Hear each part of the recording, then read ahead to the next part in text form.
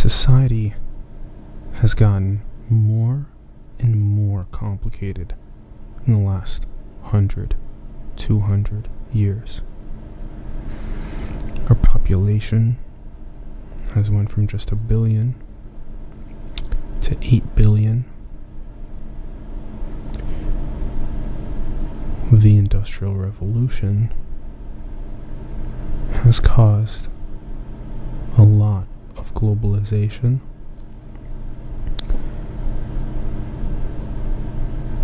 And the most recent computing revolution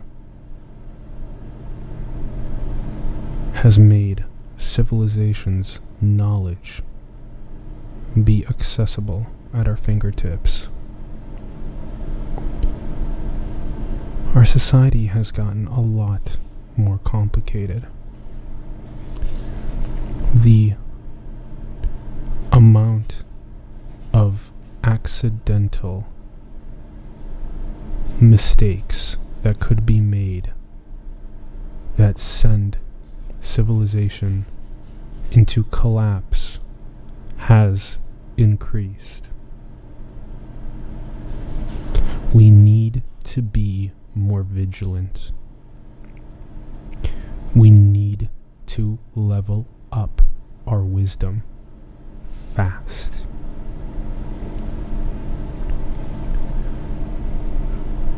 With all of these democratized technologies that make it easier and easier for malevolent actors to wield immense power for chaos and malevolence, we need to level up our wisdom fast. Fast.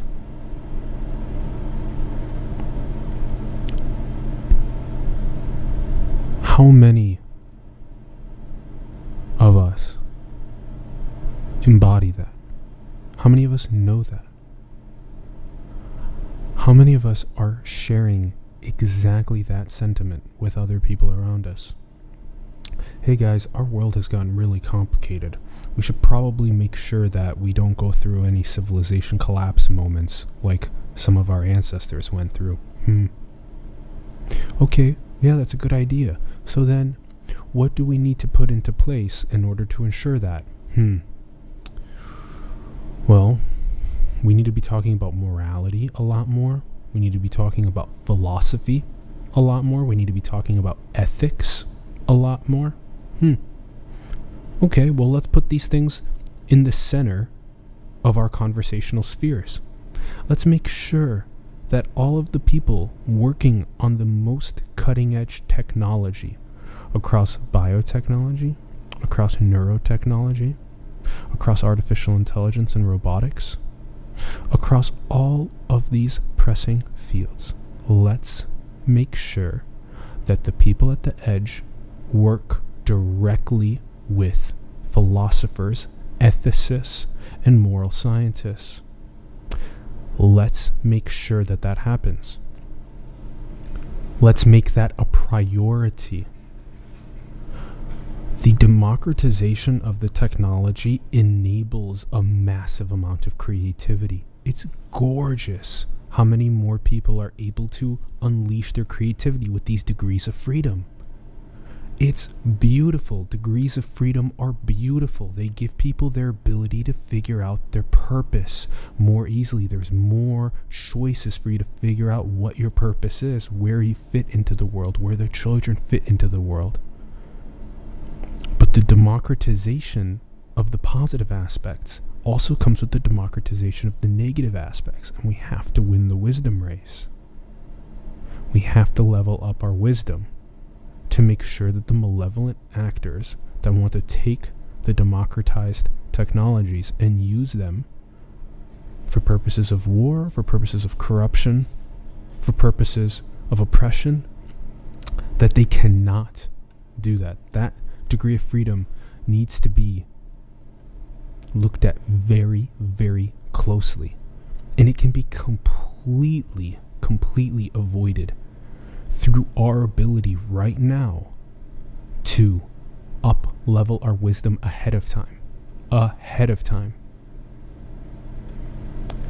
The amount of examples of this about people that have saved civilization from mutually assured destruction. And you can look at them. People like Vasily Arkhipov, in 1963, with the Cuban Missile Crisis, people like Stanislav Petrov. In 1982, during the Cold War. We have to remember these are Future of Life Award winners in 2017 and 2018. Like Matthew Meselson, also helping renounce biological weaponry that's the 2019 Future of Life Award winner. We have to prioritize knowing about people like this. We have to share these people with our children to say that, hey, these are the people, and these are the ways that our civilization has prevented collapse in the past.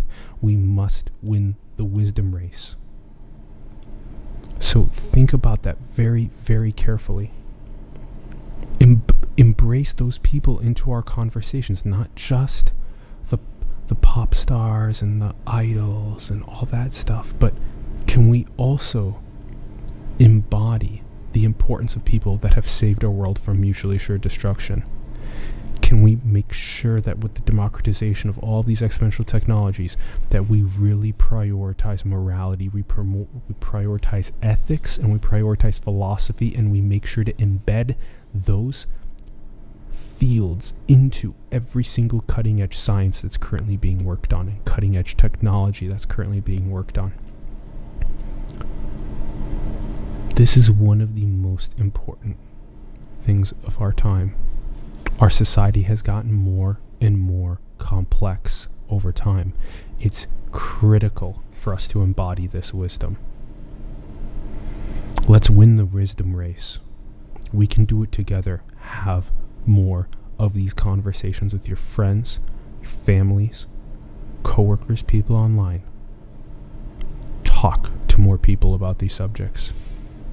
Prioritize these conversations and prioritize more philosophy, morality, ethics at the edge of science and technology. Prioritize it make it happen together. And remember, as much as we love the competition, and how competing helps us push the edge faster and faster. We also have to cooperate. We all live on one planet, and future generations want a beautiful planet to live on and to be able to experience life on. Think seven generations ahead, just like the indigenous elders do. They think seven generations ahead with every action that they take. Think that many generations ahead. How do we win the wisdom race? And remember that that wisdom that's being carried from these elders for the last multi millennia transcends us, our 25, 50, 75 year old lifespans. That wisdom of thinking seven generations ahead, of being tied in deeply to the ecosystem that sustains us. Every breath of air, every drink of water, every bite of food, every moment alive on this planet is a blessing. Is a blessing of creation, and to be directly tied into that spiritually is critical, and that also helps us get through the wisdom race. Tie those things together.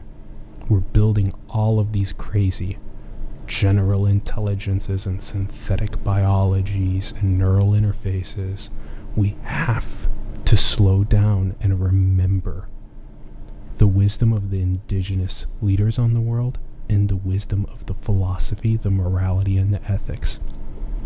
We can do this together. Have more conversations about this. I love you all very much. Thank you for tuning in.